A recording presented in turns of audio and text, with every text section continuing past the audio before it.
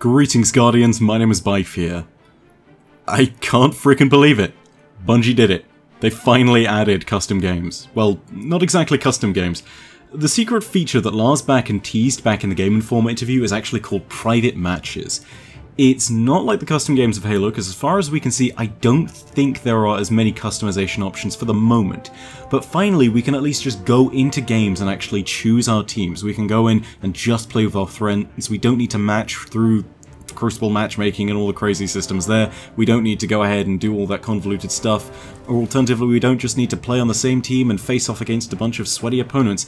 We can just play with our friends, and that's going to make the game so much more fun. So, whilst we don't have all of the options available to us, and we didn't necessarily see them in the stream that just dropped, here's the things that you can potentially do with custom games. So first of all, hide and seek.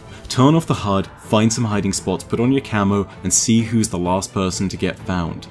Number 2. Whatever crazy rules of Crucible you desire. Sword hit only, throwing knives only, melee nade only, supers only. Whatever you want, you can probably go ahead and do that through a system of honor rules. Number 3 true sweats. Go ahead and make your own rules to make the game truly competitive. No exotics, not having certain exotics, no supers, no skip grenades, no wombo combo, no crazy arc lock melee range, no juggernaut titan, no universal remote. Whatever you want, you can do it. You just have to honour the rules. Number 4. Explore the maps. Brush up on your map knowledge. Find all the hidden nooks and crannies on the new maps, but also find all the little details that you may have missed, like the Cabal in one of the spawns on the Cauldron, or the Fallen in the middle of the map on the dungeons. Whatever you do, go ahead and look around, because there are so many little details that Bungie puts into the map. And number 5, and the thing that I'm personally most excited for when we have custom games, or well, private matches, Machinima. Go ahead and use the HUDless glitch that I had where you can remove your weapon from your HUD using a sword. Use that and you can start making your own Destiny Machinima. This is the best thing that Bungie has added to Destiny since vanilla.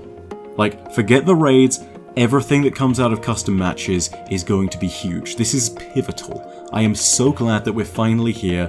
Thank God. Halle freaking Luya. In the meantime though guys, thank you so much for watching and I hope you're as pumped for custom games or private matches as I am. In the meantime though guys, my name has been My Name is Byf. Per audacia ad astra. I'll see you Starside.